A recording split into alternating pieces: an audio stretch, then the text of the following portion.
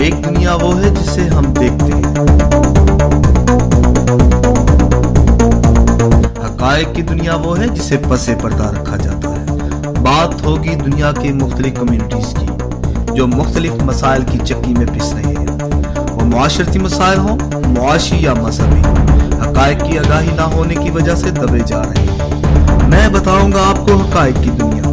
अपने हकूक की आगाही के लिए देखते रहिए। हकायक की दुनिया।